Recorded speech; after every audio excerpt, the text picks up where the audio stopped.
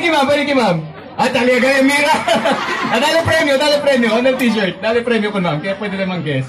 Oh, ma'am, premyo, premyo. Okay. So, sabi ustedes, si Consel BG Gingona, antes sa queda Consel, tres año kita ya trabaja, ta servi, hindi lang kuno siyudad de Zamboanga, sino entero Pilipinas, Luzon, Visayas y Mindanao, kay tres año kita ya trabaja na Senado, junto din Tito, el antes Senador TG Gingona. Del 2013, ya volve kita kina Zamboanga, kay kere kita continua el buen legacia del diyang familia na serbisyo publiko, y gracias gat na barangay Santa Catalina que suporta ka natin iya sala kita elegido como el pinaka-joven consel del 2013. Tu kayo naman, gracias kay Conferes.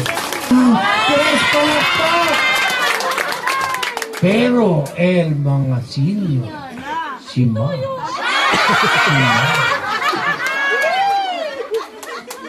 Ma, si Ma, Conele. Habla, wow, guapo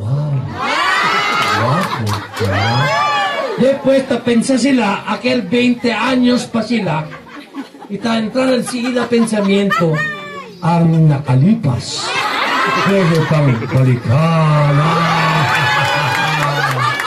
Ahora, tiene también favorito, favorito del manga viuda.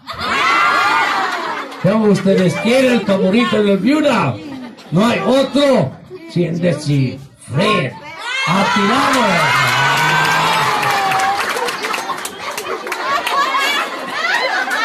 pero el pinaca favorito del Magdalaga. ¿Saben ustedes quién? ¡Sí! Ok, un poco serioso que tal rato, ¿ah? Ya hablé a si Richard Mariano, ya hablé a si Ligona por causa del overpriced arroz.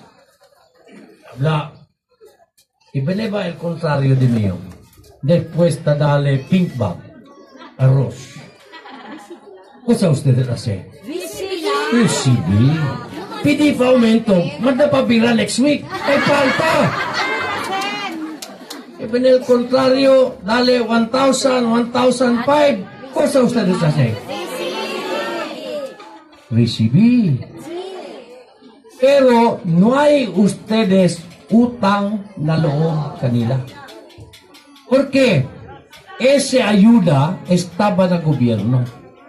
Tiempo de pandemia, tiempo de crisis, obligación, trabajo, responsabilidad de gobierno, dale ayuda. Y ese sen nasa lesen ng mga taxpayer, quien tapagabuis, di ba? Na de ustedes pensamiento, ¿quién va el tapagatax? El mga rico, pati el negociante. Correct? Correct. Correct? Rome. Todo, todo ustedes, lahat kayo, araw-araw, every day. When you buy something, ¿quién ustedes ta compra? Ta cobra ya el gobierno con ustedes tax. Enseña yo contigo. ¿Quién ba mahilig na Jollibee? Jollibee. Ah, ikaw ma'am. Huli eh. Tama. Nakita kita sa Jollibee. Bumili ka ng Chicken Joy. Presyo, 178 pesos. Dinagdagan mo ng juice, 30 pesos. Nagbayad ka ng 208 pesos. Kasali doon sa 208 pesos, may VAT, value added tax, 22.29. Hindi mo napansin. Siningil ka na ng gobyerno ng tax. Anong ginawa ng Jollibee? Pinadala yung pera mo sa BIR. Ma'am, taxpayer ka. Okay? Ngayon, si ma'am, imiray contigo. Talya to na shoppers. Diba? Na compra to Coke, 200 ml. Presyo, 10 pesos. Kasama sa 10 pesos, 1 peso and 7 centavos. But value added tax. Ma'am, mas kinuhay tumampile income tax. Taxpayer ko. Okay? Ahora. Sir. Buenas, buenas.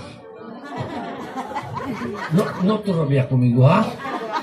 Okay, marites también yo, ¿ah?